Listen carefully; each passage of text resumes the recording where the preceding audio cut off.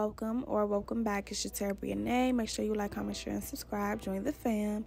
Y'all already see the title and the intro. We are doing some jumbo braids today on freshly washed and blow dried hair. Look at how thick my hair is, period. This is your sign to go and get you some collagen. Because, girl, my hair has been growing so much. But I'm only going to be using two products today. This is the favorite, all time favorite hair that I always use. And I'm to be using the Edge Booster instead of Shine Jam because that's what we had. So, that's what we got to work with. So, um, this video is really to focus on um, sections and how many braids I do because when you do a jumbo style like this it's easy to accidentally make your hair look too skimp or too thick so right now I'm just sectioning my hair out I'm gonna show you guys how I do each row in each section so you guys can follow along at home um, but yes, my handy dandy mirror. This always helps me when it comes to parting. My parts don't be perfect, but it gets the job done, okay? So first things first, I'm going to mold the roots of my hair so everything is nice and slick.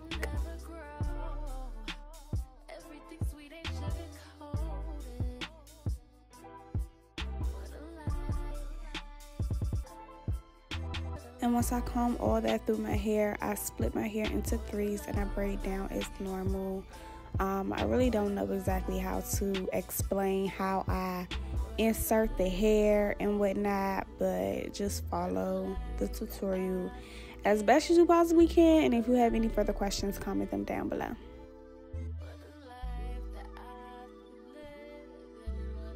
So as you can see, I'm doing pretty big sections with my real hair and then I'm adding in like medium sized sections of the braiding hair as I go.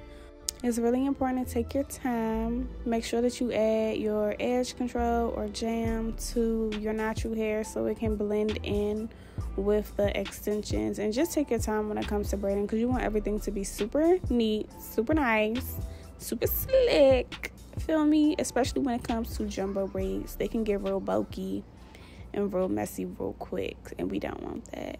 And y'all, please disregard how messed up my nails are. I'm going to do them literally the same day, so you're going to see my nails change at the end of the video.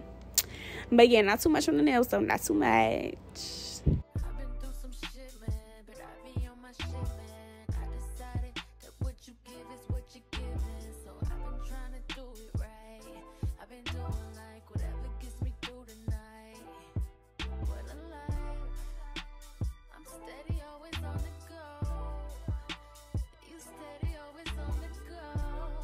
This edge control was my best friend, okay, because recently I cut my ends. So low key, I was kind of having a blunt cut.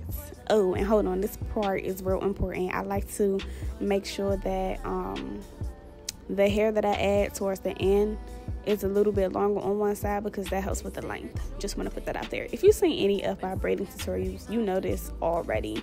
Um, if you want a very like detailed tutorial, just go throughout my channel. I have other videos, but yeah, that edge control helped me so much when it came to hiding my natural hair because um, I low key have a blunt cut right now and you can't see none of the hair poking out of the braid. Period. So one down, couple more to go. So yeah, let me really explain what I'm doing on this section. Um, it's really helpful to use your edge brush instead of dipping your fingers into the edge control each time because that just helps you not be as messy. And I like to brush and comb that throughout my roots really, really good so my hair is nice and sleek and so I don't have any flat waves. And then I split it into three sections and I braid it down like six times because I want my braid to gradually get thicker. I don't like bulky braids. Like these these are literally knotless jumbo braids. I don't want any knots. And then I put the hair through my um, index finger and I pick it up and I make sure to put some jam or edge control, whatever you want to call it, on my hair so it blends in from jump and then I just continue to do the same thing. So like I said earlier, I put three pieces of hair in when I'm initially braiding and then I just add going down where I see fit. Um, I don't really do it in a particular way. I just do it to make sure that my braid is thick and juicy to my liking. So it's all about preference. So yeah, I don't want to wrap y'all up too much. I said my piece. I'll probably jump in here and there to give y'all a little bit more information. But other than that, I'm going to let y'all listen to the music and catch a vibe.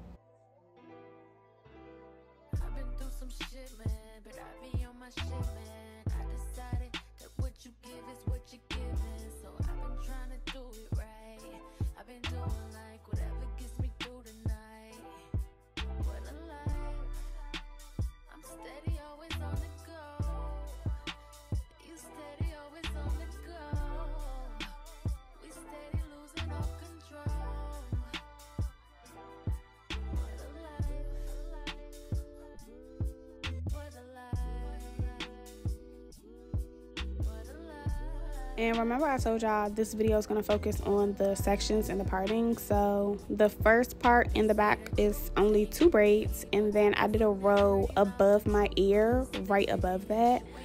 Um, and I think I put six braids in total on that row, three on each side. So it can add to the fullness and the length. So this is what we have so far. And then I did that same row again. Um, and I think, if I'm not mistaken, I did six more braids over top of that. Yep, I did six more. And then I think the last row that I'm going to do is just the middle section and I did three on each side. So again, six braids in total. So in total, I have 20 braids. Boom.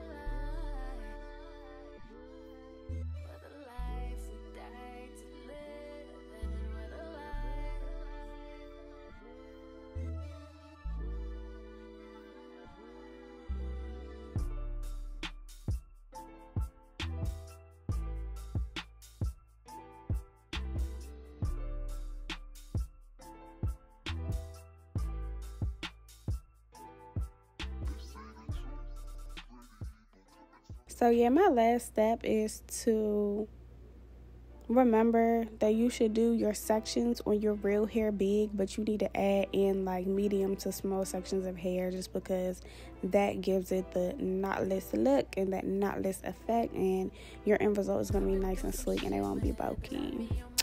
Um, and yeah, in terms of maintenance, I sleep with a big bonnet. That's it. That's all. Whenever I sleep with a scarf with my braids, it tends to fall off. Um, and I also sleep on satin or silk pillowcases. So yeah. Remember, if you have any specific questions, to leave them in the comment section down below because I would love to answer them for you guys.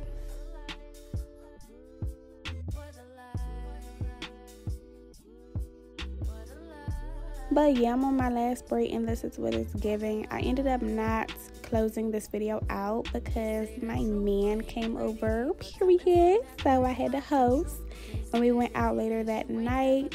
Um, but these braids end up looking so cute. Nice, easy, protective style. Only took me like four hours to do for real. So yeah, I'll see y'all in my next one. Bye, mamas. Yeah, yeah, yeah, yeah.